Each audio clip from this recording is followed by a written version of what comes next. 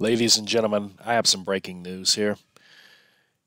United States places up to 8,500 troops on alert for possible deployment amid Russian tensions. Up to 8,500 U.S. troops have been put on heightened alert to deploy as Russian troops mass on Ukraine's border, Pentagon spokesman John Kirby said Monday. U.S. Secretary of Defense Lloyd Austin issued the prepare to deploy orders at the direction of President Joe Biden. Kirby said no final decision to deploy the troops has been made.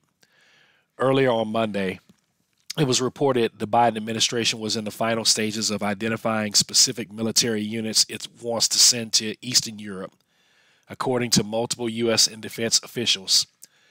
Biden discussed options for bolstering U.S. troop levels in the Baltics and Eastern Europe with his top military officials during a briefing at Camp David on Saturday, according to a senior official. The news comes amid U.S. warnings that a potential Russian invasion of Ukraine could be imminent. The State Department on Sunday reduced staffing at the U.S. Embassy in Kiev, Ukraine, with the departure of non essential staff and family members out of an abundance of caution. Biden will hold a secure video call with European leaders on Monday afternoon, which the White House said was part of the administration's consultation and coordination with European allies in response to Russia's military buildup. The goal of sending military reinforcements to Eastern Europe would be to provide deterrence to reassure allies, and there has been no suggestions U.S. troops would deploy to Ukraine or take part in any combat roles. The U.S. sent two weapon shipments to Ukraine over the past week as a part of recently directed security assistance to help bolster Ukraine's military. NATO countries are also sending additional ships and fighter jets to Eastern Europe and putting forces on standby. NATO Secretary General Jens Stoltenberg said on a statement Monday. NATO will continue to take all necessary measures to protect and defend all allies, including by reinforcing the eastern part of the alliance, Stoltenberg said. The Ukrainian Defense Ministry latest intelligence assessment found that Russia has now deployed more than 127,000 troops in the region, while the U.S. said Russia is in a position to launch an invasion at any time. U.S. officials still don't know what Russian President Vladimir Putin plans to do, or if he has decided to invade Ukraine. But some officials who have said the intelligence said there's evidence Russia is planning to try to take Kiev and overthrow the government, as was reportedly previously reported.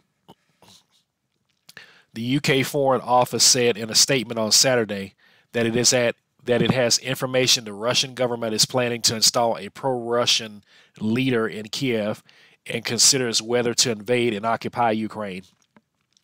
Moscow denies its, its, its planning to invade, accusing the U.S. and NATO of escalating tensions over their support for Ukraine. The Kremlin on Monday dismissed the reports about plans to install a pro Russian leader in Ukraine as, quote, hysteria. Tensions are escalating due to concrete actions taken by the U.S. and NATO, Kremlin spokesman Dmitry Peskov said. I mean, the informational hysteria that we are witnessing, it is generously framed by a huge amount of false information, just lies and fakes. State Department officials told reporters Sunday that the decision to reduce staffing at the embassy was not due to any change in threat levels to U.S. personnel in the country. The officials said the move to reduce embassy personnel and urge Americans in the country to leave was in part because the State Department assistance would be severely impacted if there is Russian military action in Ukraine.